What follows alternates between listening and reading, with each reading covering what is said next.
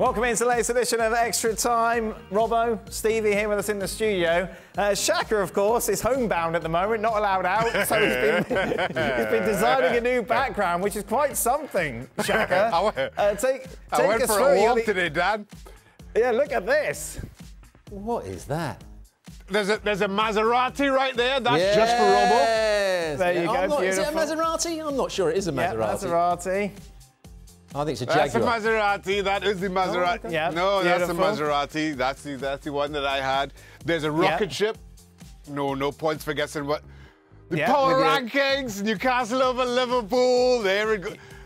I'm not sure what this. I'm not sure what this LM plus 10 equals GOAT is supposed to signify. I'm really not sure about That's that. good. Then what's over your other shoulder, Shaq? What, what are the books that are there? What? there's, there's how to fix the AC. How to fix the AC. fix that's the that one. AC. Good. I haven't read that one yet. That's Algorithms and a whole, a whole, a whole lot, a whole lot of other stuff. That shelving but, cost There a lot money, didn't it? These, are- these are the ones I haven't read. And what's the certi- certi- certificate? What? Oh, that's the um, that's the freedom of the city. That's the copy of the freedom of the city from Newcastle. Here Big goes. one. The only issue you have, Shat, is the way it's Yes. set up. We can't really see the Trinidad flag. The one Oh, with the it? scarf. I'll slide Yeah. it over. Yeah, I'll slide it exactly. over next time, Yeah, Dan. needs sliding that? over. Stewart Robson, of course, has been all over America for Yeah. the last two weeks. What the adventure has done. Yeah. Where have you done your laundry, Robert? What stage? Uh, I had to wait to come to the DoubleTree in. Uh, in uh, so you did it all last night. I did it all last night, as much as I could anyway. Wow. Just so I got clean clothes to go home in. What a treat for How long you everyone. been away? Uh, two and a half weeks. Shut up, two and a half weeks? Yeah. Yeah. I, I didn't know. I tell you what, I, wouldn't did have a bit that. of laundry done in LA. Okay. The um, shirts. The okay, shirts the shirts were Yeah, done. shirts were done. Right. Uh, what's been the highlight of your trip around the US? What's been the best bit? The highlight of my trip, without doubt, was Yes. when your wife yes. uh, decided to try and get a trolley off the uh, at the airport, a trolley Yes. to, to have your bag. Yes. And I don't think she put the dime in, did she? So she Well, was trying to she was trying to yank it off, and it was never ever going to come off. he then had a round with her. Oh, I love the way that, that my misery is your highlight. I, was- oh, I- I love it. I loved every minute of it, and I couldn't. I It couldn't- true. There is nothing better than seeing another couple argue. Yeah, it makes but it it's the feel way you went. Kids over there, wife over there. I was just- Keep away from each I other. was just trying to kick because the kids were winding her up, and there was yes, exactly. I'm- I was dear. trying to very much um, play How the long did it peacemaker. Her mood, Yeah, how long did the the... morning until the morning. I, the I- I morning. let it be. I let it be. But the next night she said, "Do you want to come out with us again?" She was asking me to go out with them so I could see another round. They Oh, gonna- no, that was, it was all. That was the tournament of kings. You missed the tournament. of Oh, bloody- Ah, good. Well, I love all my dirty laundry being there in extra time. What was the low point, Robert? So the highlight was seeing in a row. What was the low point? Uh, I think the low point was when I got to the Las Vegas hotel and they said there's no room for you. yeah, and they said your bookings for They said, um, tomorrow. yeah, and of all things, they said the Disney card is invalid.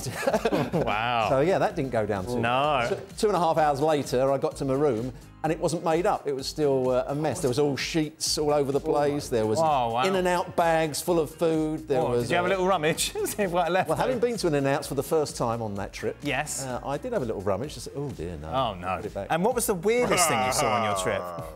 The weirdest thing I saw on the trip. Um, not sure I saw too much that No? was weird. Oh, a bloke walking towards me with a, what I thought was a plastic snake along this strip in Yes, Las Vegas. yes. And as he got closer and closer, I realised it wasn't, a, wasn't it wasn't plastic. plastic, and he was about to put it round my neck. And I did, uh, that was the quickest I've moved, I think, in about 20 years. Wow! Yeah, wasn't wasn't happy with the snake being put round my neck. It was fun, Las Vegas trip. I enjoyed it. Yeah, I know you did. That was Yeah. great fun. I enjoyed the games. I enjoyed the shows. The games. the games. Well, that's what we were there for, wasn't it? games? Work. No, it wasn't a holiday like he was on. Oh, I had a good time, Steve. It I was know, fun. I know you did. Credit card You've bill. got to take advantage of these things, innit? Well, it was lovely. Aye. Really good. Mm.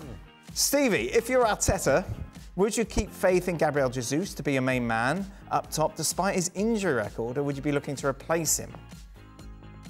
He's always had an op, hasn't he? Aye. He's out for a couple of weeks. Listen, I think the fact that he's having another op so soon after having the last one would make you sort of be on a bit of alert that Right.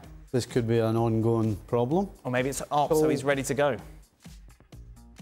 Mm, that's a very positive attitude. Well, let's but be you positive. Can't, you can't. You can't always be like. that. You have to cover your bases. Oh. And So yeah, I would suggest yeah. You should be on the lookout, and if something comes along that's comparable or better, then you try and get them in. For Shaka, what are your thoughts on Buffon retiring? Where does he rank amongst the all-time greats? Oh, you're asking the wrong man. Mm. It's a That's sad, it's a sad, sad day, Dan. It's a Oh, sad.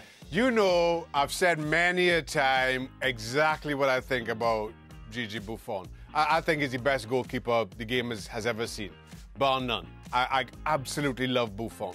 Um, and to go this long, what, 45, I think is, is a testament to, to how good he is let's keep in mind he was what 35 million when, when he joined Juventus. I, I don't think any other goalkeeper had had come close. Had, had gone for maybe over three million at the time. So to be to, to, to for Juventus to pay what 10 times more than any other goalkeeper had, and nobody at the end of a career, nobody questioned that price. It was worth every penny. It, it says exactly how how good a, a, a goalkeeper, how good a server he was. Shaka, are you concerned that you've got more pictures of yourself in the background than Frank has? Considering he is supposed to be obviously Mr. Humble. Why have you got all pictures of you in these tuxedos everywhere? That's that's just me every day, Dan. I wear a tuxedo on oh, average Oh, yeah? four times a week. That would because I'm, suggest- I'm fancy. I'm really He loves fancy himself. like that. That Yeah. would No, there he is, suggest. no, that would suggest that he didn't put that together. What, why? Well, because Shaq's not. Are you saying this is not real, Stevie? Shaq doesn't look the type that's going to do you think- splash himself. There's somebody else. Maybe his son did it. It's, it's a what?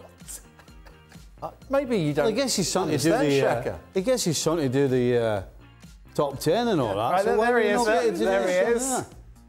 Son, yeah? I'm not so sure Shaq did that. Oh, wow. Shaq? Look at Inspector Gadget Yeah. here. Aye, uh, Shaq's.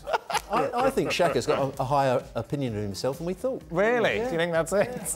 Well, I mean, he has to. he has to. Having seen him in his heyday at West oh, Ham, Oh, yes. he has to. Ah. Did you ever struggle at the start of a ah, new Ah, we season, go. Shaq? Well, you struggled most seasons, either physically or mentally. Did it get harder to Yeah. prepare mentally as you got older? Uh, I, I found the start, the middle, and the end of the season were particularly tough. It was the summers. I was, I was, I was at my absolute, as my absolute Yeah, I bet best. you were, Shaq. Um, to to start a season, um, listen, I, I, I think just in, in general, it takes six, six or eight games to really get up to speed. Anyway, uh, I think that's part for the course, and and thankfully, I I've always had a good preseason. I- I don't remember. I, I tell the, the the year that I broke my leg, I broke my leg in 2000, um, and and struggled because uh, you know I, I had a lot done to my left ankle, so didn't. My, my preseason was pretty much about rehab, um, and even when I, I think I've told this story before. Our first game for the 2001-2002 season was away to Chelsea at Stamford was at Stamford Bridge, and I, there were times that I'd be running and I'd, I'd, my ankle would just give out. I, I still wasn't. I was nowhere near. I was nowhere near where, where I should be. So I went into to that game kind of concerned about that. Um, and we lost. We lost four. It was for the for the absolute finest. But I think the fact that I came back early, the fact that I didn't have a good preseason, I struggled that entire season, our 2001-2002 season. Um, other than that, I, I, for every other every other year of my career, I had a good preseason and went into the season as as, as I'd hoped. What about you? I'm going to guess most players have. When you go past your peak, and you kind of lose half a yard or a yard. What was your peak? When were you at your absolute best? Um, probably, probably in the mid to late 80s. Okay. When you won the Player of the Year. Player of the Year was yeah, 89. Aye. Yeah. Is that Aye. when you were at your best, your peak? Aye, probably. Aye. But I think, I think when that little bit hits you when you lose it, you kind of go through a stage, particularly in pre-season. See, pre-season, I always, you always dread it, but then once you start doing it, then you start getting competitive about it. Okay, So then it just takes over. right.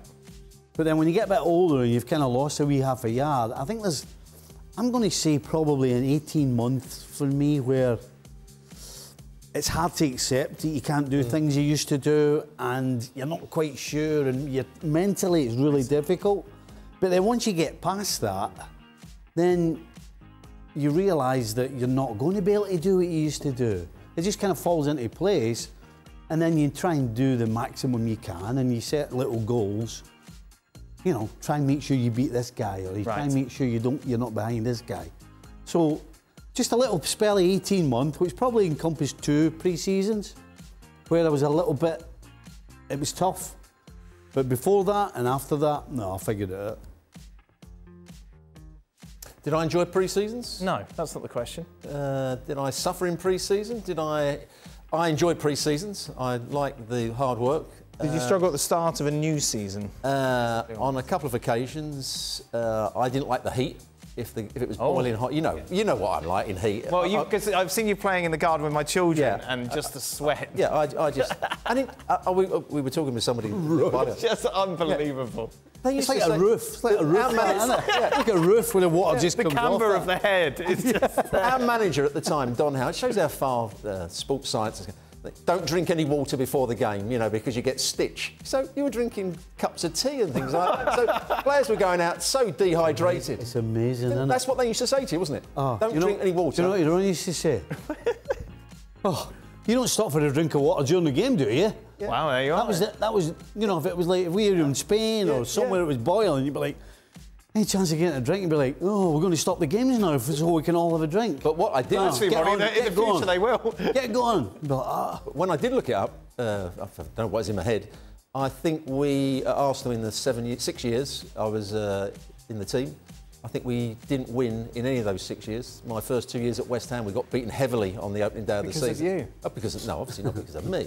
But just we never had good games on the first day of the season for some reason. Wow. We won at Coventry. The first game of the Premier League season, when the Premier League started, I was playing for Coventry, and we beat Middlesbrough with um, Take that, Jan. yeah, we beat Middlesbrough 1 0.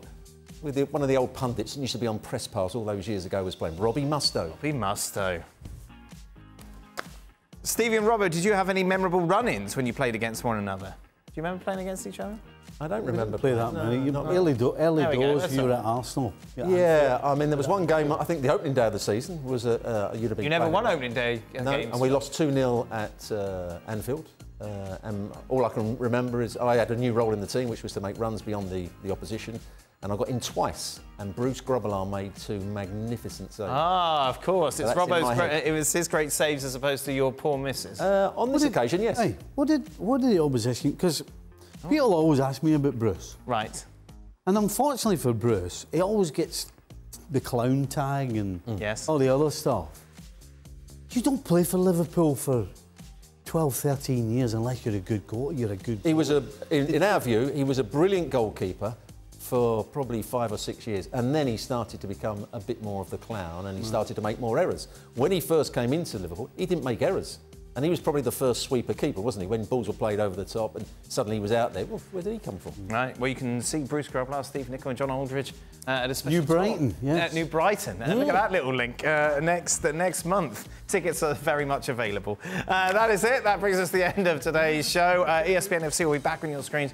Uh, are you, Robbo's off tomorrow. I'm off. What? What? Yeah. I you mean, need Lovely. there must be a mistake. this Lovely. You'll be off to Wembley. Enjoy Wembley this weekend, Robbo. Have a great. I'm going to, yeah, a little, go, little. Uh, If you want to come in, if you want to come in tomorrow, I can stay at home. We could just round the corner. Are you on tomorrow as well, Stevie? Again? Aye. See, boy, aren't you? I'm leaving the DoubleTree at two o'clock tonight to get to Two in the Boston. morning? Two To get to What Boston. time's your flight? Seven o'clock. Two thirty. I'm leaving. Two thirty. Be careful, the tunnel's shut. Oh, yeah. right, okay. There you are, a little bit of advice Yeah, that's right. that people need to hear. Uh, goodbye. Voice of gloom. Thank you very much for watching ESPN on YouTube. For more sports highlights and analysis, be sure to download the ESPN app. And for live streaming, premium content, and let's not forget as well, ESPN FC seven days a week. Subscribe to ESPN Plus.